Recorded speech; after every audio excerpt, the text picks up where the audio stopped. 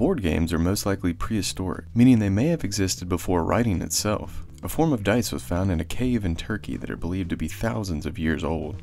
Board games really ramped up in the ancient world, and here are some of the more popular ones that were played in the early River Valley civilizations. When you clicked on this video, you were probably thinking about chess, which is most likely the evolution of the ancient Indian game Chaturanga. At some point it changed from a four-sided military strategy game into the two-sided board game we see today. The importance and power of the queen in chess reflected the rising power of European female monarchs in the 15th and 16th centuries. Fast forwarding a bit, a guy named Milton Bradley was originally a photographer who thought he could get rich off his stash of beardless lithographs of the newly elected Abraham Lincoln. Unfortunately, no one wanted a picture of Lincoln without his signature beard. So Bradley created this checkered game you see here that became wildly popular, especially with Civil War soldiers. This game evolved into the game of life. Monopoly was based on an earlier board game called the Landlord's Game. The creator of the Landlord's Game was attempting to show the world the negative side of capitalism, but that obviously backfired when Parker Brothers, now part of the Hasbro empire, bought the rights to the game in the 1930s and turned it into Monopoly. You know that cutthroat winner-take-all game that Americans have loved for nearly a century. Candyland was invented by a school teacher in a polio ward in the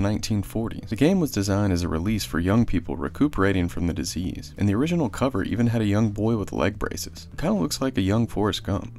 Clue was created by a British musician after World War II. He basically cashed in on a parlor game he and his friends called Murder. It was originally called Cluedo, and is still called that in some places in the UK. Chutes and Ladders is the modern version of an ancient Indian game that was called Snakes and Ladders. It was originally designed to teach morality and virtues in an engaging way. Scrabble was originally called Crisscross and was inspired as a fusion of crossword puzzles and anagrams. Trivial Pursuit was created in 1979, while the inventors were playing a game of Scrabble, and it was eventually made famous famous by George Costanza and the Moops. Battleship most likely comes from a game that was played with paper and pencil during World War I and eventually made it to the famous board game. The plastic pegs were added in the 1967 version of the game. I obviously left a ton of games off the list. What game should I have added and what's the history behind it?